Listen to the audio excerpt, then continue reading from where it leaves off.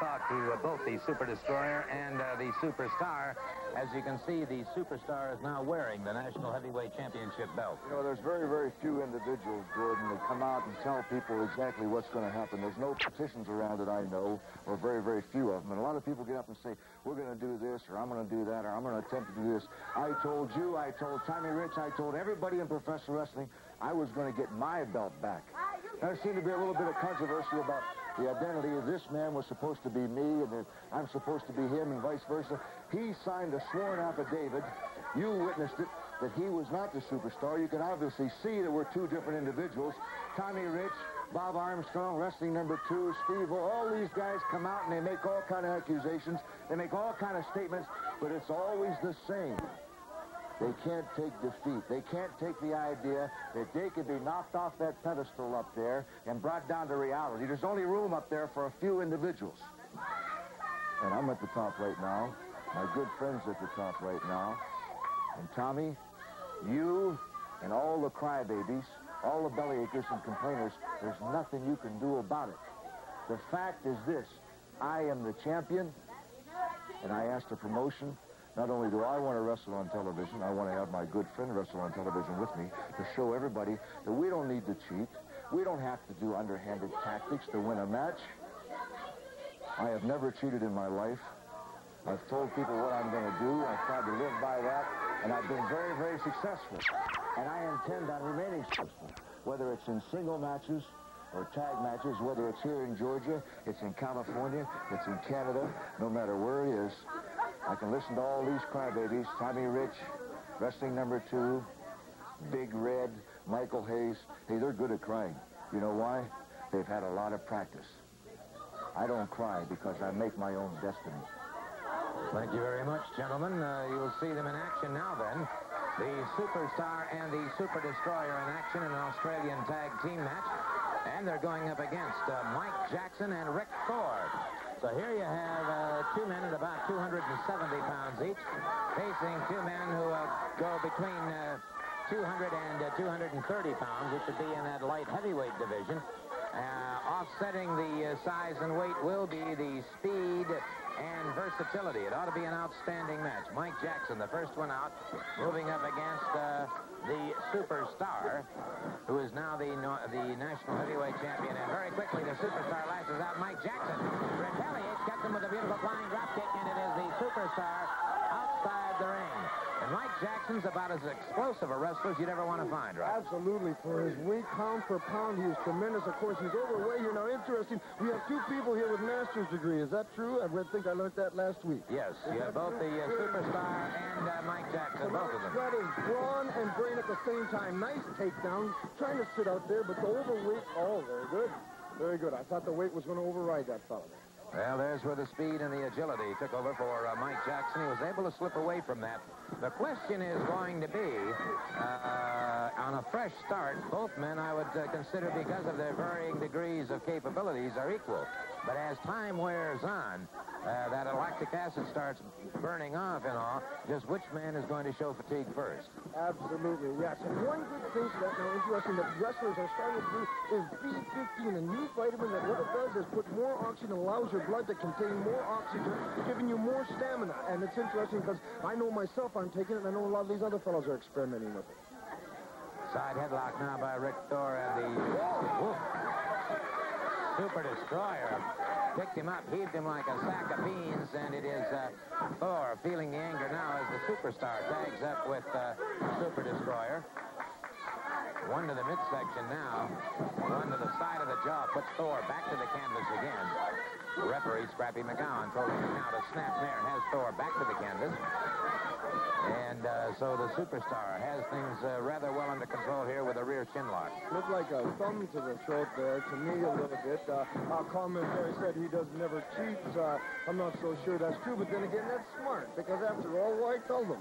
He's in there to win. He maybe that was looked like a thumb to the throat to me. That is against the rules. He says he never cheats. I don't think he does. Hmm. Super Destroyer now maintaining some dominance here on uh, Rick Thor. Thor catching an elbow that time driven to the canvas. And Thor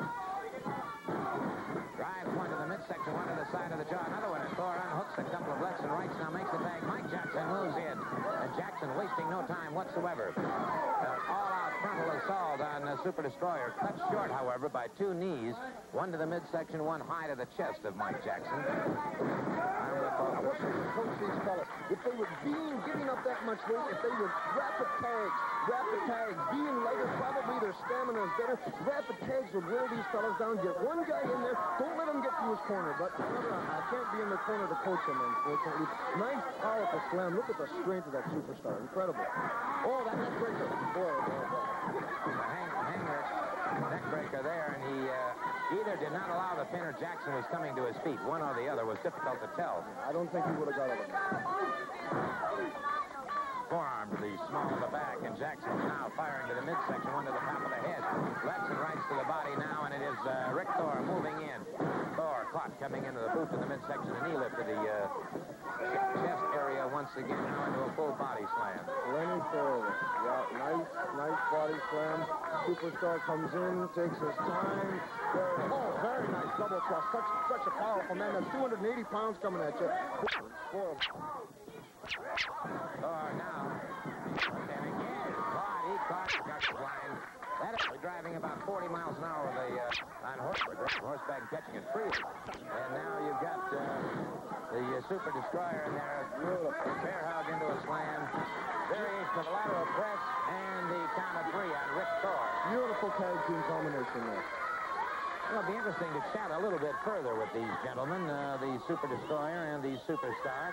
We said, of course, the Superstar is now the national heavyweight champion. And, uh, well, gentlemen, if you were out to prove a point, I would say that you did it uh, rather... We don't have to prove points, Gordon. I just wanted to show you, illustrate to you, illustrate to Mr. Piper, who's watching all these, illustrate to Tommy Rich, Big Red, the other imposter walking around complaining about everybody that's hazed, and wrestling number two.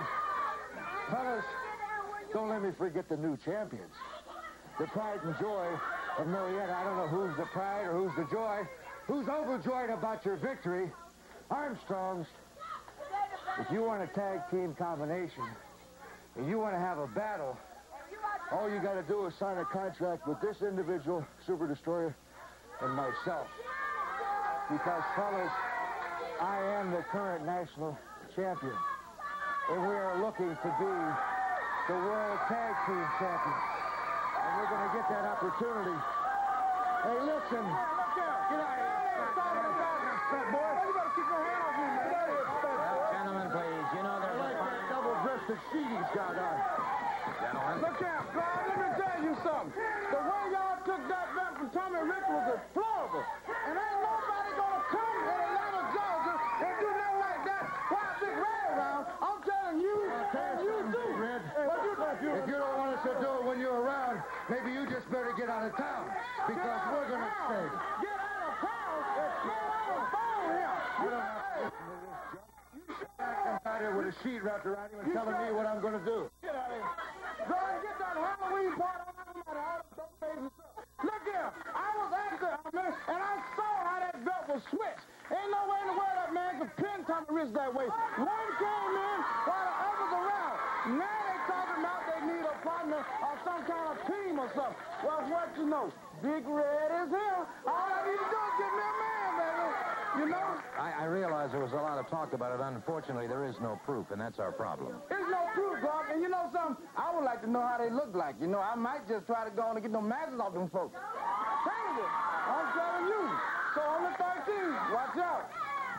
Well, okay, fair enough. Uh, uh, a situation uh, with the uh, Super Destroyer and Superstar. And uh, there you have some interesting comments and challenges from uh, Big Red himself. We'll be back in just a moment.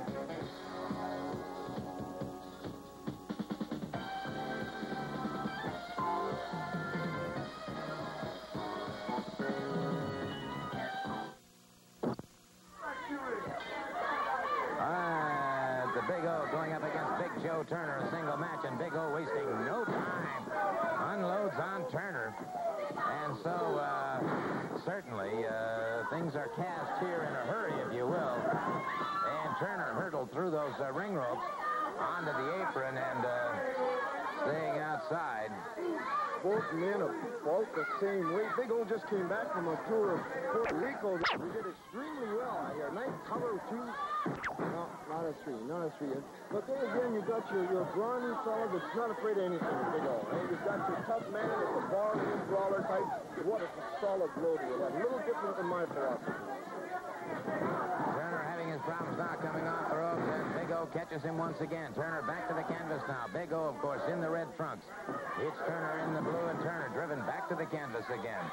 And so uh, the Big O has totally dominated the situation thus far in the match, and that's rather surprising, except I think that uh, Turner came out there probably with a different bit of strategy in mind, uh, perhaps a thought to lock up collar and elbow, check his man out, uh, and he suddenly found out that Big O wasn't having any of that. It was a strictly all-out frontal assault. Yes, Big O went for the attack immediately, trying to, first of all, if you can get the push, you know, in a wrestling match, Mr. Solie, of course, you know I'm explaining it for the folks here that don't, but for the wrestling match, the man who gets the first hold, the man who makes the first successful move, definitely has a psychological advantage. Immediately, immediately he has that just that edge, and that's just what Big O went out there and did. Now, he might have this man confused a bit, which is kind of in the, the science, which I'm talking about. We're talking about vitamins, we're talking about wrestling as a science of thinking, which is very good on Big O's part. Again, Big Joe Turner hurtled through those ring ropes onto the ring apron and down to the concrete floor outside, and uh, uh, the Big O watching his man, conserving his energy, watching him carefully, catches him coming back into the ring, catches him off the... Wow! And he does. He measures his man before he takes him. Yeah, well, he's a tough man, this Big O for sure. He can hit hard. Of you know, he couldn't do that to me because I would be fighting him a little different than this man. This man's trying to go toe-to-toe, stand up, eyeball to eyeball, nose to nose, and that's not the way to do it. But I'll talk to him later and fill him in just on how to fight big people like that. Oh, picked him up there. Big old... Did not allow the pin. Did not allow the pin. Now, he had uh, ample opportunity, it appeared to me, for a uh, pinning combination, and uh, Big Joe Turner coming up uh, rather slowly, dropped to the canvas again by uh, the Big O, and so the Big O has now got an added uh, psychological edge on his man. Uh, clamps down with a front chancery now on uh, Big Joe Turner, and so he is obviously there to punish as well as to pin. Absolutely, and you know, of course, Mr. Solie, I, I know it is such a pleasure to be here with you, being such a such a good commentator of wrestling. Uh, it, it is, and you know exactly what these men are doing. When he's doing that to his opponent, when he's punishing, he knows other wrestlers are watching him now on the monitor, and he's trying to scare them, and, and you know that. And uh, it's a smart tactic. I would do it myself, so it must be smart. It's uh, uh, absolutely no uh, no compunction at all about adding additional punishment. And uh, finally scores the uh, count of three, and it is all over for Big Joe Turner. And I want to take a moment right now to talk to uh, Mr. Austin Idol. Well, I'm sure you probably think right now that I'm not here to talk about how pretty I am, or how rich I am, or how sexy I am, or how mean I am. But the reason I'm out here, and I'll tell you right now, is that I think that it bears repeating about all the complaining that's being done around here. I've never seen anything so disgusting in my life. All the whining, all the moaning, all the groaning, and like the superstar said, all the crybabies. You can see, look at my head right here. There's gas open in the Omni. I'm not crying about it. But look at Michael Hayes. He's crying about the defeat he suffered at the hands of us now. Look at wrestling too. He's crying. And look at Tommy Rich. He's crying on everybody's shoulder. And now heard about Leroy Brown is coming to town. He's a troubleshooter. I'm going to tell you something right now, Leroy Brown. I don't care how big you are. I don't care how bad you are. If you stick your nose in my business, I'll cut you down the side so quick. As a matter of fact, where is Leroy Brown? Where? You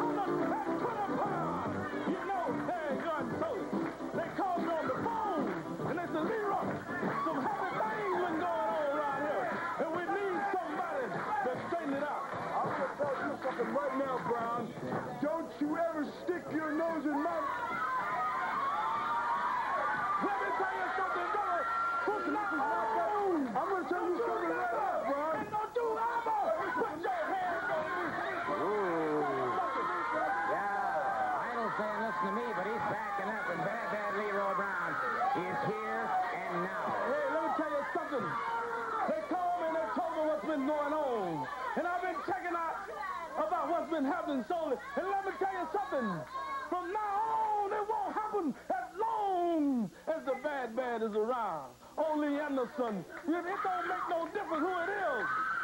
You talk about the Super Destroyer and his partner, the Masked Man, switching and going on. Well, I'm the only one.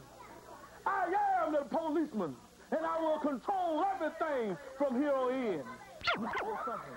I done talked enough. They didn't bring me down here to talk a lot. They brought me down here for action, brother, and that's all I'm about. Action, get ready. Yeah, I might just add, that's his middle name, Action. Bad Bad. Leroy Brown from the south side of Chicago. We'll be back.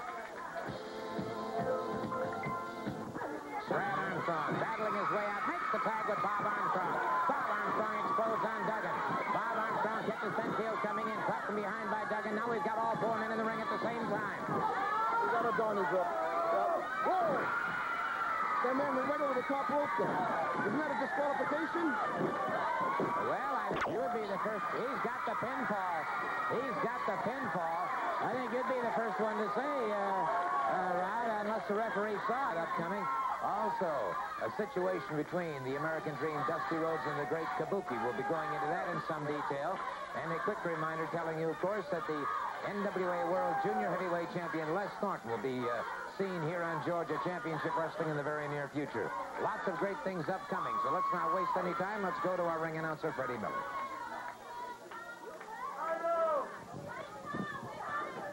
With a 10-minute time limit, one fall 10 from St. Petersburg, Florida, at 215 pounds, here's Tom Rogers.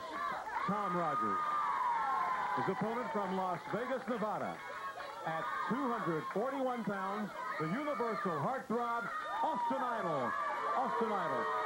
The referee is Nick Patrick. All right, Austin Idol moving out against Tom Rogers. Rogers out of St. Petersburg, Florida. Idol now making a home in uh, Vegas. And, of course, uses the Vegas leg lock, which has been, uh, a Vegas, uh, it's, it's, a variation of a figure four leg lock is what it is, actually, uh, I know you're familiar uh, in watching the man uh, apply that. He applies it very successfully. Yes, and I wonder, it's going to be interesting to see if he uses it on this young man here. Now, if I was this man, I would already have a counter to it and be watching for it and be trying to set him up so he tries to use it so I can use the counter. It'll be interesting to see us taking his. A little psyching out there. Very good, Austin. Idol, of course, a uh, magnificent physical specimen. But he's facing a, a, slightly smaller edition of himself because Rogers certainly is in outstanding physical condition. The abdominal erectile muscles, uh, the biceps, the triceps, the pectoralis. And Rogers catching Austin Idol from behind. A quick lateral press after a drop kick. Idol powered out, however. And uh, Rogers after him very quickly. And so Rogers using the element of surprise and thus far has Idol in trouble and Idol, utilizing the ring ropes to force the break. Very smart on Austin's part. Austin there caught himself caught this young man. You, now you talk about some tremendous athletes. Very smart on his part. What he did is he got on the ropes and got the man to break and got him away so he can get his composure again. Good throw. Collar and elbow, and it's Rogers now with a side headlock on Austin Idol.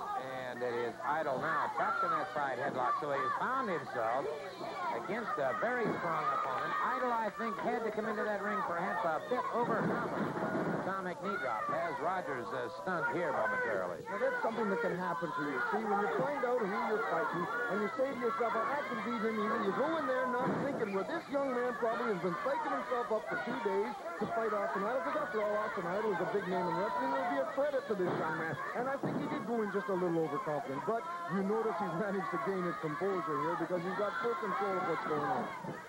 Rogers hurling through those ring ropes, and uh, he's in trouble outside on the concrete.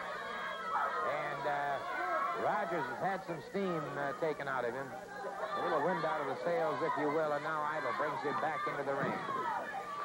That shows you the power in Austin Idol there. Whoa. Backbreaker. Very well executed. High in the air, coming right down on the knee, trying to get the point of the knee. Bone to ribs is what you're looking for. You don't want the thigh part. You don't want the muscle. You want bone to bone. That's how you hurt him, and it's obvious it's not the wind of this young man. Has indeed caught him in the lower section of the rib cage, and Rogers coming in very slowly. Dropped into the ropes that time and through the ropes as uh, Rogers lost control of himself here totally. And it is Idol continuing to pummel and punish uh, Tom Rogers. Yeah, it shows you here now two fine athletes, but where weight can sometimes be to the advantage, and Austin is using it extremely well. Going for the suplex, got him up. Vertical suplex on uh, Tom Rogers, and Austin Idol has a very stunned, very shaken Tom Rogers on the canvas. He's in the black trunks and in a lot of trouble now as he's trying to recoup his body and bring himself back into uh, total consciousness, rolling against the uh, legs and feet of Austin Idol in pain as Idol brings him up. Him once again for a slam, caught him into that top rope. Vicious move now. This man's being vicious here. He's got this boy hurt. He knows he's hurt, and he's continuing to do punishing moves now, dropping him across the, his throat across the rope there. That's something that can hurt him permanently. Slamming him. Look at that. Horrible. He's taking advantage of the foul, but I understand because he's got a point to prove. Don't fool with Austin Idol is what he's saying right now to every other wrestler in the world. Driving the knee into the... Indeed, instead, instead it set you. That's an interesting point. All right, he has hooked the uh, head, hooked the leg, and scores the uh, one, two, three. So Austin Idol, once again, and we may get a chance to take a look at uh, Austin Idol just to show you the kind of power he does have. He's there on the second rope. That is within the legal parameters. Drives off, drives that knee directly into the chest, uh, into the sternum area, actually. Catches uh, Tom Rogers. That continues to force the air out of his uh, system. Notice the way he comes in, hooks the arm and the leg simultaneously, bringing that body around. And you'll notice even though his body was writhing and partially in the air, the shoulders were still flat to the canvas. And there you have to give certainly credit to Austin Idol for quite a victory indeed. December 13th. Mark that down on your calendars right now. And may I just suggest right now, National Tag Team Championship. So let's go to ringside now with Rod Piper as he interviews the new National Tag Team Champions. Well, of course, it's a pleasure, and I'd like to congratulate you two gentlemen on winning the National Tag Team Champion. You were the underdogs going into it, and uh, for a second, if you wouldn't mind, I would like to speak with Brad, being that you're the younger and uh, more inexperienced of the two. It must have been tough for you in there to watch your father uh, in his match and to, to fight like you did, and, and it must have been great conditioning you went through in this particular contest. Well, yes, sir, Mr. Piper. You know, it was uh, probably one of the toughest tournaments, uh, the toughest uh, that I've ever been in in my life. And uh, uh, like you said, watching Dad uh, get hurt or watching me get down a little bit, uh, we've got a we've got a pact, kind of an agreement between each other that uh, we let each other do his own thing. You know what I'm talking about? Let each other do his own thing. That's interesting. Very good. Very good. And I like a little about the social life. You must, with all the all the conditioning you've been doing, it must be tough for you. You been dating any young ladies, or or little about the personal life? Uh, Well, Mr. Piper, you know, if it's one thing I like better than wrestling, and that's these pretty Georgia peaches here. And uh, I, I, I try to squeeze some time in for them, you know, as uh, for myself. And uh, but how do you feel about kind of being in the shadow of your dad? Like kind of like you don't feel like a daddy's boy at all. Do you kind of being in the shadow of your dad and, and having your dad being an accomplished wrestler? Do you feel a little, a little, uh, you know, kind of?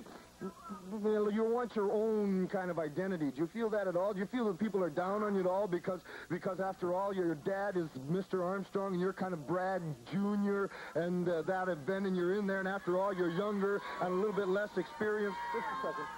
Why don't you talk to me for a while? You, you talk to Brad, and after you want to interview Well, me, ask me some questions, I'd I'll like- be glad to answer you. Well, it'll be my pleasure. Matter of fact, you were next, Mr. Armstrong. And uh, the fact that you won the title is a, quite an accomplishment. And you were the underdogs. You're one of the lightest teams going in there. And I didn't really believe that, that you would have won it, but it, it is a credit to you. And as far as the conditioning goes, and as far as your son is concerned, uh, Well, if you'll let me say just one word, I, I perfectly agree with you. We were underdogs.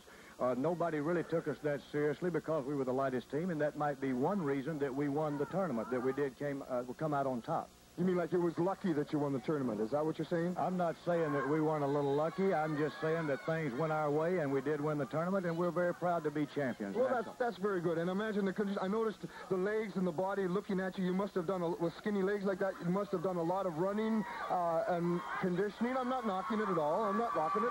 I'm just saying you must have ran a lot and worked hard at it. I can understand Yeah, that. let, let me say this about my trim legs. I've always believed in Greco-Roman wrestling. I use the upper body. Upper body. And I'd like to ask you one question. Certainly. Uh, have you ever seen a racehorse with fat legs? A racehorse with fat legs. I don't believe you've ever seen a racehorse with fat legs. because we're southern-born, southern-bred thoroughbreds. That's the way feel, we feel about it. Feel the way you like. Thank you for your interview. A thoroughbred with flat legs. Well, it's certainly been a pleasure, uh, Mr. Armstrong, and uh, if you're ever in a horse race, I'm sure you'll win.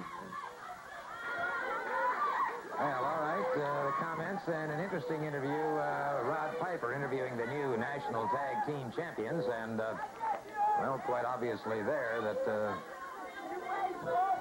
well, we can go on to other things. We're going to be watching. Uh, yeah, you hear it? Yeah, that's it. Hear that music? You know one thing. And the policeman himself, from the south side of Chicago, moving into the ring at this time. Leroy Brown. He's going up against a very, very tough man in Big Joe Turner.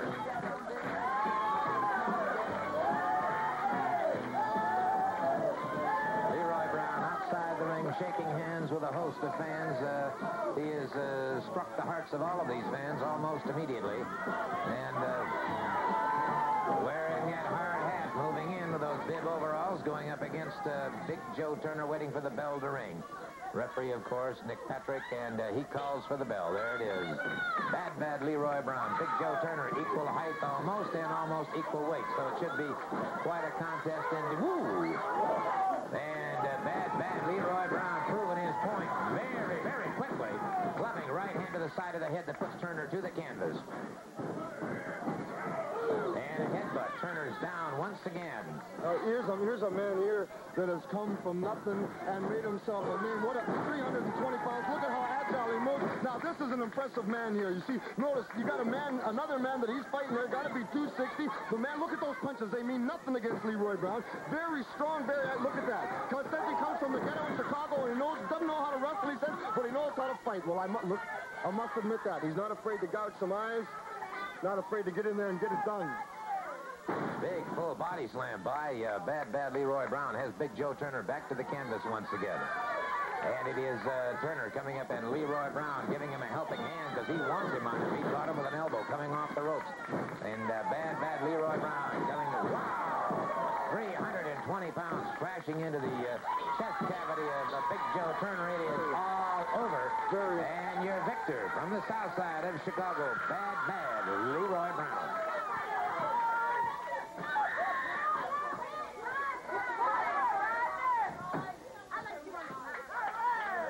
Uh, we're seeing it again here in uh, slow motion, and uh, there you see Bad Bad Leroy Brown, 320 pounds, crashing down across the chest of uh, Big Joe Turner. And so a most impressive victory for Bad Bad Leroy Brown, making his first uh, appearance here on Georgia Championship Wrestling. And uh, we'll be back in a moment right now to talk to uh, the superstar who is now the national heavyweight champion and the uh, Super Destroyer.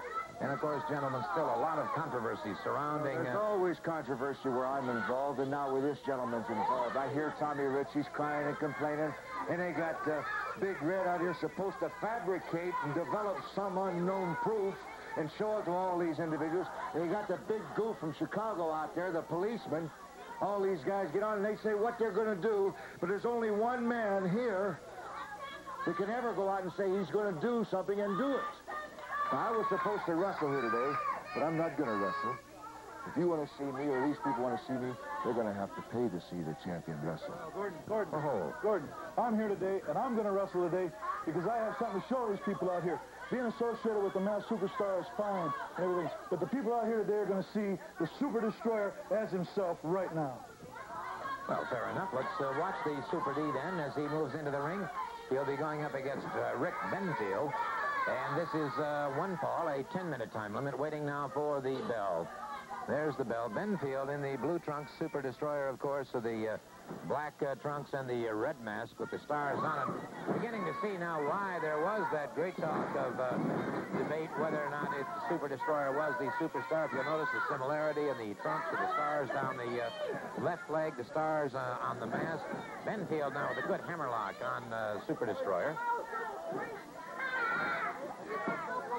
Up into those ring ropes, and the referee calls for the break, and Super Destroyer, in a good clean break, steps back into the center of the ring, collar and elbow.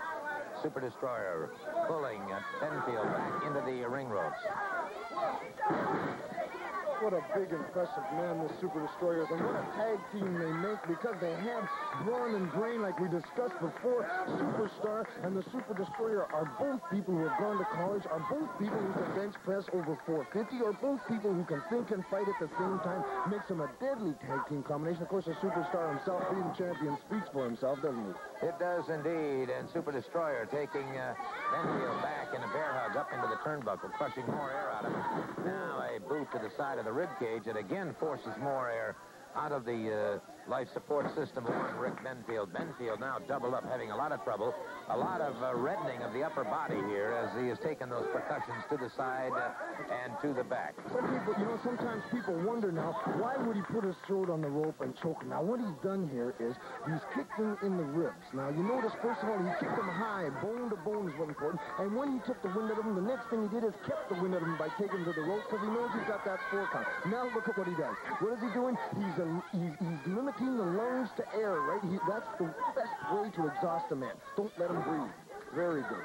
Benfield trying desperately to break his way out of this now. And the uh, Super Destroyer drives a uh, knee lift into the midsection once again, continuing to deprive uh, Benfield of that much-needed oxygen. And, of course, as the oxygen supply is depleted to the brain, uh, the uh, mind begins to uh, function a little more slowly, and obviously if it functions more slowly, then uh, the muscles are going to respond a lot slower. Mr. Solie, very good. You notice how intensely the superstar is watching right now. You notice how every move he's making, that's what makes them such a fine combination here, is they're watching each other all the time, so they learn each other, they know each other just like it was themselves, and that's what's important in tag team combinations, and important just when you got someone watching your back. Referee checking with Benefield, but Benefield, a gritty competitor, hanging on. And he keeps the uh, full bear hug on him now. Strong Benefield enough. in a lot of trouble. Now he's got, notice the difference now in the hand situation. So much little technique. Now he's got the knuckles against the, fat, the, the spine, pushing on the lungs. Before he just had meat against meat. You don't want that. You want bone against bone is what you want. That's what wins wrestling matches. Benefield beginning to sag, and he is uh, having a lot of trouble trying to get that uh, much-needed oxygen. His muscles now failing to respond on uh, on his own uh, development of the match here, and consequently now the Super Destroyer driving him back toward the mat. Benefield finally driven to the mat. Benefield able to get a shoulder off before the count, however, keeps that shoulder off. Super Destroyer presses his advantage more, but now Benefield able to get that shoulder off. Super Destroyer down across the chest and the throat of Benefield. Moved off before the count. Moved off before the count of three, and again back into the bear hug. Very good. You see, concentrating on the same part of the body. Once you got something hurt, you stay with it. That's what makes me so good is that I can stay with the same part, and I know to stay with the same part. And that's just what he's doing there. Notice again the knuckles, how he's got knuckles again. He realized himself. Am I going too much depth here, Mr. Solie, these people? I think you're doing very well. Thank you very much. I know, you see, if the people can just spot the little bit of technique that's involved in professional wrestling, the little thing that he's doing right now is so important, it makes all the difference in the world. Superstar, of course, knows that. It makes, it makes him a champion. First 280 pounds helps too, doesn't it, Mr. Sawyer? Well, it does, along with the uh, the consummate skill that he has. Mhm. And it is uh, Super Destroyer continuing to move against Benfield, and Benfield now, that upper body is totally reddened. Absolutely. You can even see in his face, and, and, he's not even cutting any blood off of the face, but you can just see from the pressure. It's such a smart wrestler. Such such good tactics here are involved that the people could just appreciate what he's doing. And it's hard work and hard labor to get this done. Super D asking uh, Benfield to concede, but uh, Benfield, as gritty a competitor as I've seen in a long time, he is not conceding, continues to uh, press home, and of course, outside of camera range, the superstar continues to uh, look on, obviously with a great deal of interest. He and the Super Destroyer have uh, formed a pact or an allegiance, if you will, a series of headbutts now by the uh, Super Destroyer, and Benfield has just taken it, uh-uh, Oh, put on the ropes, calls for the break. Lucky, yes. What intensity the superstar is, is watching, too. You can see he's into every move. Right back to the same. Very good, very scientific, but you got to give this man credit. I, I don't believe it. I, I would have thought he would have given up a long time ago. He's still fighting back, although the blows don't have much, uh, much power behind him. Drove the knee to the midsection, and uh, it is uh, Benfield in a lot of trouble here. No, sir, up on that uh, top rope. And I've heard about this. And I've heard about this with the Super Destroyer, the Super, the Superplex coming off that second rope. It is all over. All over for uh, uh, young Rick Benfield. And uh, the Super Destroyer coming outside the ring in a quick uh, conversation with the uh, Superstar. And, uh, well, now, wait a minute. Why is the Super Destroyer going back in? The referee's still attending to Benfield. Uh-uh, Super Destroyer now. And the referee warning Super Destroyer he could reverse this situation. Uh, wait a second. Wait a minute. Bad, bad Leroy Brown just hit the ring. And suddenly, uh, the Super Destroyer and the Superstar decided to leave. And uh, I can certainly understand why. Hey, Solie, I told you the poli- policeman was here. The bad guy from Chicago. And the thing like this gonna end. It's gonna end uh, not next week, not next month. But right now, I've had enough. The people had enough. And the big man. When he says it's gonna happen, baby, it's gonna happen. There you have it. Bad, bad. Leroy Brown. Whoop. Castle of Creepy. All right, there we have it now. Final match on this hour of Georgia Championship Wrestling. One fall with television time remaining. An Australian tag team match. El Grande Apollo and Rick Thor, and it's El Grande Apollo giving Rick Stevens what for into a hip lock takedown. Stevens very quickly into a head scissors. Apollo powers out. It's uh, Ray Stevens and uh, Ole Anderson against El Grande and Rick Thor. The tag is made. Rod Piper to my left and Buzz Sawyer to my right. So I'm su- surrounded here by about $2 million worth of great wrestling talent. Look at that wrestling Ole Anderson's doing. Everybody's talking about how mean and bad he is. Sure, he's mean and bad, but look at that wrestling. Look at that wrestling. Doesn't that look good? Very interesting. Look at Apollo hitting him with the fist. That's not right. That's not right. I uh, think Mr. Apollo was probably retaliating back in time, Mr. Sawyer, and uh, I hesitate to take issue with you on that, but uh, uh, Apollo will do what is necessary. Ray Stevens moved in. That appeared to be a fist to the midsection into a top wrist lock. No, I wasn't a fist. I wasn't a fist. I, I didn't see that one. Convenient eyesight on the part of uh, Buzz Sawyer, and it is uh, Rick Thor having his problems now as uh, beautiful suplex. Had him the double underhook. And Mr. Piper now, Ole Anderson moves out. Yes, you notice tremendous teamwork. Stevens did not let go of the legs until Anderson had control. That's what makes tag team combinations. Anderson now caught by uh, Thor, but Anderson very quickly with a superior weight and strength pulls Thor back into his own corner. As soon as he gets in trouble, what does he do? He tags. That's what these people must learn. It's called tag team. That means you tag. That looks rather good right there, sticking his foot in his throat. That's where his foot belongs, right in his throat. Mr. Piper made the comment that Mr. Anderson was uh, in trouble. I would imagine Anderson would take umbrage to that. Uh, I don't think he feels he's ever in trouble. Well, when I say trouble, I mean that he's at a disadvantage at that particular time. He wasn't hurt, but, or rather, should I say, before he got into trouble, would maybe be a better parallel there. He immediately tagged. An excellent retraction, and it is uh, Anderson leaving the flat of the foot up as uh, Thor was driven into the foot. Ray Stevens tags out, and it is uh, Anderson back into the ring.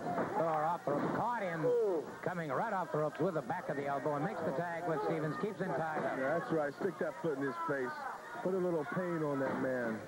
Come on, Ray Stevens. The comments of Buzz Sawyer. Stevens has him up for the pile driver, and that could well be all she wrote.